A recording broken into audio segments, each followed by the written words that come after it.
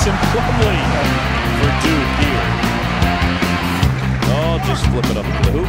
Although he, he maintained eye contact with the rim. Memphis. John Sciambi Len Elmore with you here at Cameron Indoor Stadium. And a lob toss there.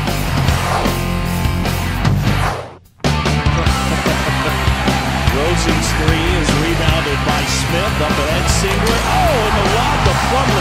This unselfish play by Kyle Singler. He had a chance maybe to take it to the basket and get fouled. But not Fired Glen Millers by a couple weeks ago. Lob underneath and a two-handed.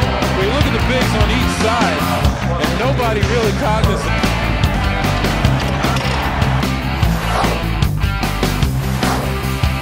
was one of the top players in program history.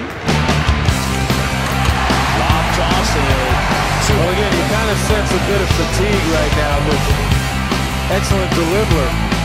But no one guy under the post